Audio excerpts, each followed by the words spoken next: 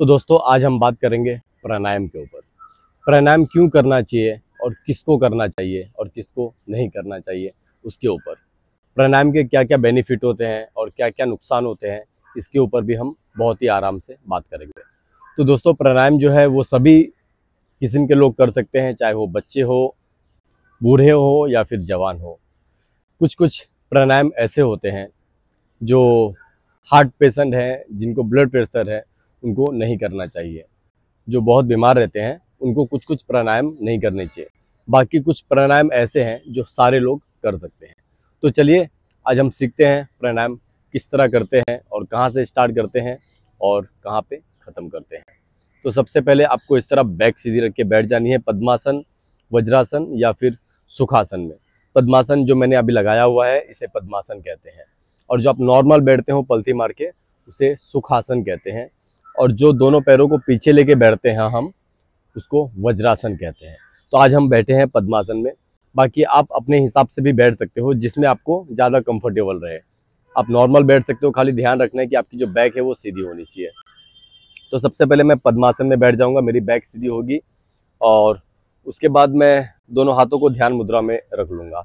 ऐसे मुद्राएँ बहुत से टाइप्स की होती है बट मैं सजेस्ट करूँगा कि अगर आप नए हो तो आप ध्यान मुद्रा में ही बैठिए। तो मैं ध्यान मुद्रा में बैठ जाऊँगा और मेरी बैक सीधी और अपनी आँखों को कर लेंगे बंद। अपनी आँखें बंद करेंगे और सबसे पहले आप करेंगे तीन बार ओमकार। तो एक लंबी और गहरी सांस लीजिए। और धीमी आवाज़ में प्यार से तीन बार करेंगे ओम।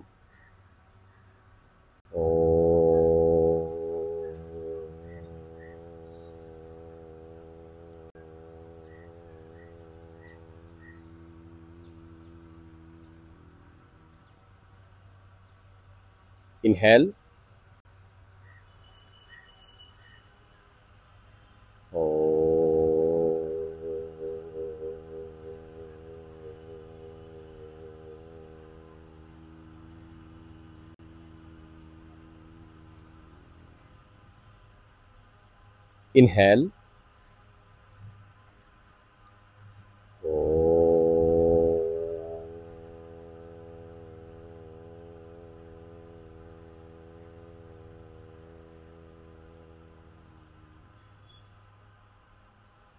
तो आपको तीन बार ओमकार करना है, जिससे आपका माइंड और बॉडी एकदम रिलैक्स हो जाए। उसके बाद आप करेंगे भ्रष्टिका। ओमकार इसीलिए करना चाहिए क्योंकि जब आप ओम से स्टार्ट करते हो तो आपकी जो बाकी प्राणायाम है, जो आपकी टोटल सात प्राणायाम हम करेंगे, वो काफ़ी अच्छे से होने लगता है। जब आपका माइंड रिलैक्स होता है, जब आपकी बॉडी रिलैक्स होती है तो जब भी आप प्रैक्टिस करते हो, वो आपका काफ़ी अच्छा होता है। तो हमारा ओमकार हो गया, उसके बाद हम करेंगे भ्रष्टिका। दोस्तों भ्रष्टिका में बहुत से अलग अलग टाइप्स होते हैं अलग अलग वेरिएशन होते हैं। बट हम आ, सिंपल वेरिएशन लेंगे क्योंकि ये वीडियो ये बेसिक लोगों के लिए है जो सारे आ, कर पाए बहुत आसानी से। तो सबसे पहले हम करेंगे भ्रष्टिका जो बहुत ही आसान है। जस्ट आपको एक सांस लेनी है। छोड़नी है। अगर आपको सर्दी है जुकाम है नाक जाम है तो आप मुँह से ब्रीद आउट कर सकते हो। या आपको ऐसे कोई प्रॉब्लम नहीं है। तो आप नोज़ से भी ब्रीद आउट कर सकते हो इस तरह। जैसे आप वीडियो में देख रहे हो।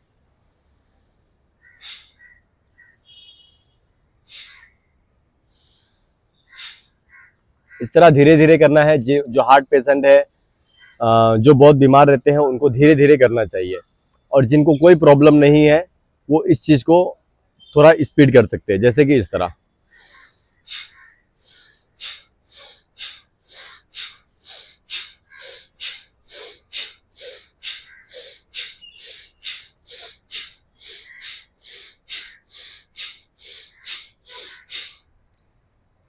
थर्टी से थर्टी सेकेंड से लेकर आप इसको एक मिनट कर सकते हो।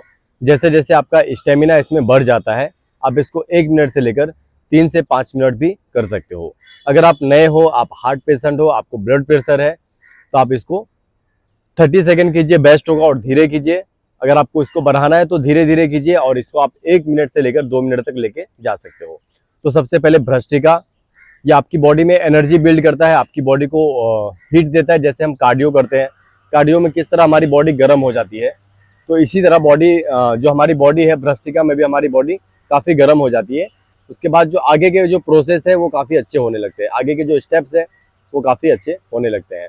तो मैं कम कम करके बताऊँगा, बाकी आप इसको, मैं टाइम बता दूँगा आपको कितना मिनट करना है, किसको करना है, वो सारी चीज़ें हम इस वीडियो में शेयर करेंगे। तो भ्रष्टिका हो गया भ्रष्टिका थर्टी सेकंड से लेकर एक मिनट करना है। अगर आपको इसमें टाइम बढ़ाना है तो आप दो मिनट से पाँच मिनट कर सकते हो। तो भ्रष्टिका होने के बाद हम करेंगे कपाल भाती। कपाल भाती में भी बहुत अलग अलग टाइप्स होते हैं बट हम सिंपल टाइप्स लेंगे सिंपल वेरिएशन लेंगे, कोई ज़्यादा मिलावट नहीं करेंगे इसके अंदर। तो सबसे पहले आपको नॉर्मल बैठ जाना है बैक सीधी रख के, और कपाल भाती, पेट अंदर और सांस बाहर। इसमें भी सेम प्रोसेस है, अगर आपको सर्दी है, जुकाम है, आपका सर भारी है तो आप मुँह से ब्रीद आउट कर सकते हो, नहीं तो आप नोज़ से भी करोगे तो चलेगा। नोज़ से ज़्यादा बेहतर होता है। तो कपाल भाती स्टार्ट करेंगे।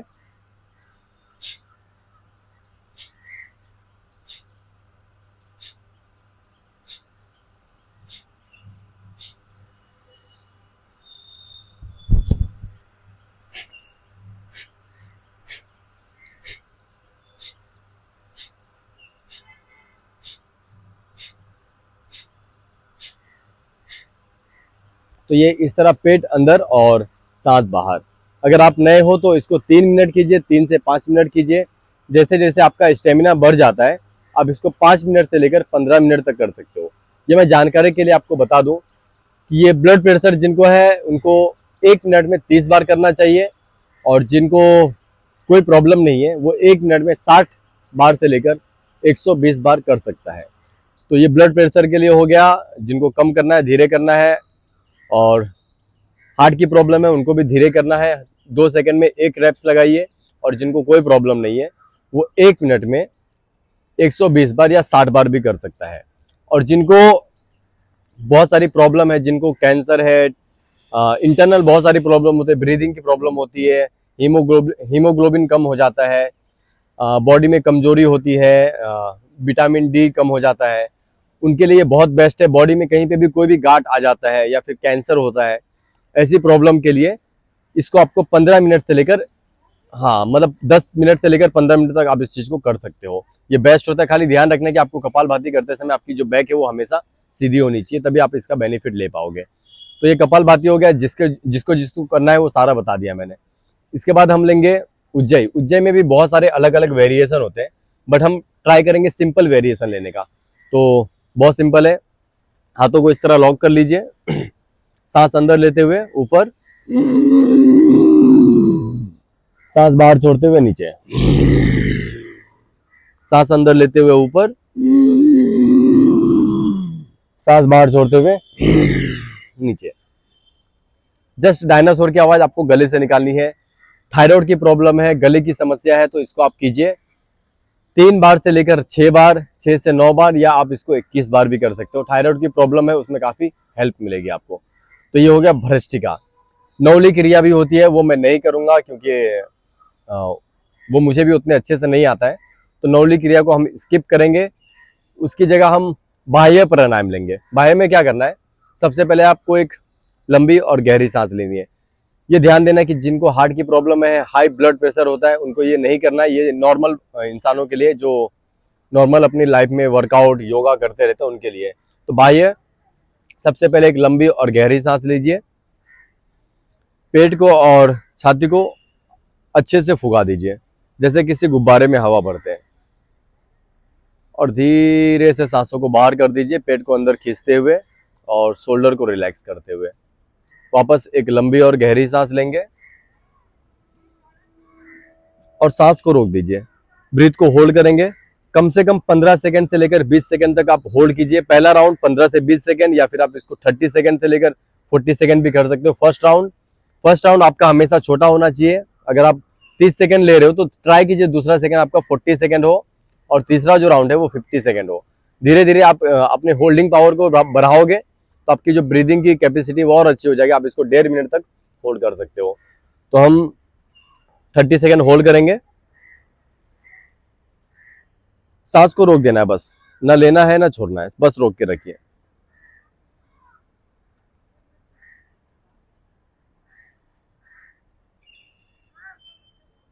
थर्टी सेकेंड होल्ड कीजिए, फिर धीरे से ब्रीद आउट कर दीजिए। इसके आपको लेने हैं थ्री राउंड थ्री राउंड होने के बाद ये मैं स्टेप बाय स्टेप बता रहा हूँ कि आपको कैसे कैसे करना है। देखो, अगर आप ये सब नहीं कर सकते तो आप सिंपल है, आप कपाल भाती कर लेना, ओमकार कर लेना और जो भ्रष्टिका बता दिया मैंने, वो कर लेना। बेस्ट है वो। इसके बाद लेंगे हम अनुलोम विलोम।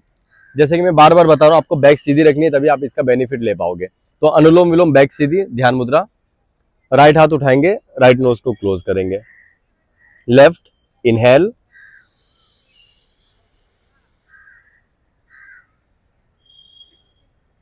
right exhale right inhale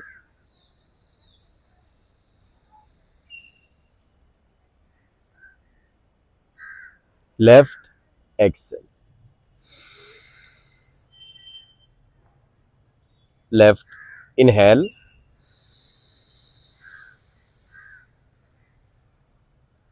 right exhale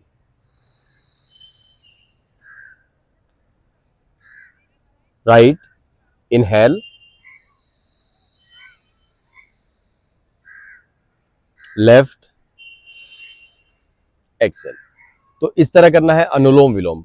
बहुत सिंपल है, आप धीरे धीरे कर सकते हो, ये सबके लिए। चाहे वो हार्ट के प्रॉब्लम हो या ब्लड प्रेशर हो, कोई भी ऐसी प्रॉब्लम है कैंसर हो टीबी हो, किसी भी तरह का प्रॉब्लम हो, ये हर कोई कर सकता है। कपाल भाती मैंने बता दिया किसको करना है, किसको नहीं करना है बट अनुलोम विलोम सारे लोग कर सकते हैं। अनुलोम विलोम कितना मिनट करना चाहिए? दोस्तों, अनुलोम विलोम, कम से कम सेम पाँच, अगर आप नए हो तो पाँच मिनट कीजिए।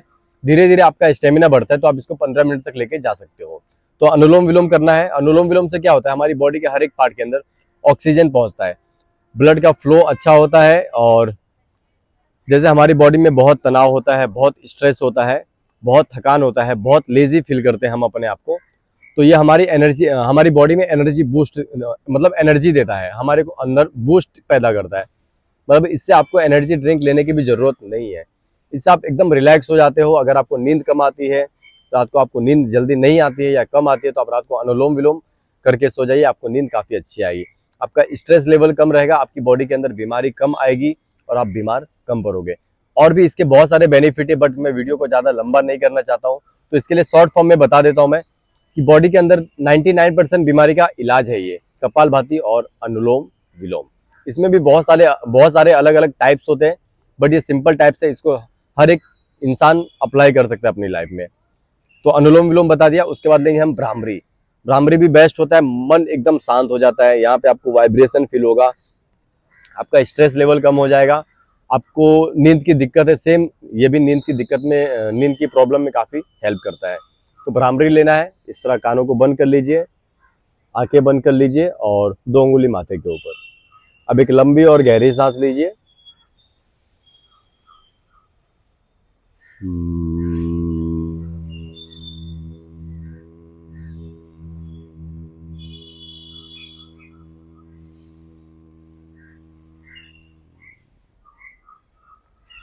इनहेल।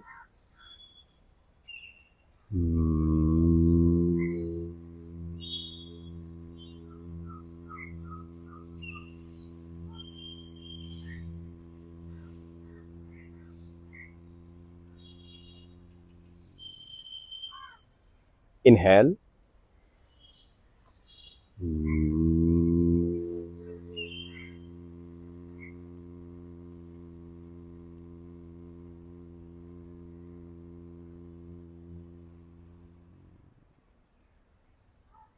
तो इसे कहते हैं भ्रामरी किसी को भूलने की प्रॉब्लम है, बहुत जल्दी चीज़ें भूल जाते हो तो आप भ्रामरी करो, अनुलोम विलोम करो बेस्ट है ये। इसको आप कितने बार कर सकते हो? तीन बार से लेकर छः बार छः से नौ बार या फिर आप इक्कीस बार भी इस चीज़ को कर सकते हो। बहुत आसान है। इससे आप एकदम अपने आप को रिलैक्स फील करते हो। अगर आप जिम में वर्कआउट करते हो कार्डियो करते हो तो लास्ट में आपको प्राणायाम करना चाहिए। या फिर स्टार्टिंग में आप करो तो काफ़ी अच्छा है। जैसे कि मैं आपको बता दूँ कि मैं जो ब्रीदिंग है, वो ज़्यादातर शुरू में ही करता हूँ। शुरू में करने से मैं काफ़ी रिलैक्स हो जाता हूँ और जब भी मैं अपने आसन की प्रैक्टिस करता हूँ, वो काफ़ी अच्छी होती है। तो ये भ्रामरी हो गया। उसके बाद करेंगे वापस ओमकार ये हमारा लास्ट है। एक लंबी और गहरी सांस लेंगे।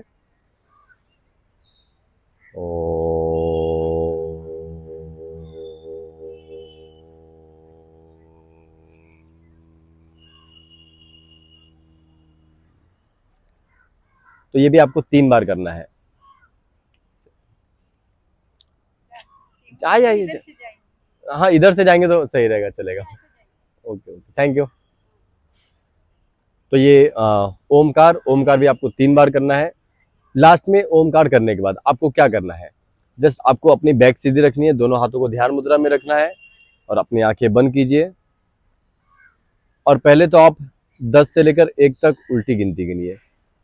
हर एक सांस में एक गिनती, जैसे मैंने एक बार सांस लिया। सांस बाहर। नौ। वापस सांस लिया।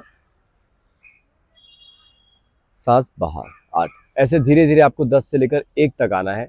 उसके बाद दोस्तों, आप अपने आसपास की चीज़ों को ध्यान दीजिए। जैसे आपके आसपास से जो भी आवाज़ें आ रही है, जानवरों की आवाज़ें, कौवे की आवाज़ें, पंछियों की आवाज़ें, हवाओं की आवाज़ें, नेचर से जो भी आवाज़ें आती हैं, बस आप उसको सुनने की कोशिश कीजिए, बहुत ही आराम से। Just focus. अपने चारों तरफ़ ध्यान दीजिए। मन को एकदम शांत रखेंगे। अपने आस पास की चीज़ों को बहुत ही आराम से सुनने की कोशिश कीजिए। धीरे धीरे आप फील करेंगे कि आपका मन एकदम शांत हो रहा है। आपकी बॉडी एकदम रिलैक्स हो रही है। जो भी स्ट्रेस जो भी तनाव है, वो सब दूर हो रहा है। आप अपने आप को एकदम फ्रेश फील कर रहे हो। तो ये आ, लास्ट में आपको मेडिटेशन पाँच से दस मिनट करना चाहिए। काफ़ी आप रिलैक्स फील करते हो काफ़ी एनर्जी फील करते हो और बॉडी के अंदर जो फ्लेक्सिबिलिटी है वो भी इंक्रीज होती है। क्योंकि जब भी हमारा माइंड और बॉडी रिलैक्स हो जाता है जब भी हम कोई भी आसन करते हैं वो एडवांस आसन हो या बेसिक आसन हो वो काफ़ी अच्छा हो जाता है। तो इसको आप कीजिए ट्राई और काफ़ी बेनिफिट मिलेगा। उम्मीद करता हूँ कि आपको ये वीडियो अच्छी लगी होगी। अगर वीडियो अच्छी लगी हो तो चैनल को लाइक और सब्सक्राइब ज़रूर कीजिएगा। मिलेंगे बहुत जल्दी अगली वीडियो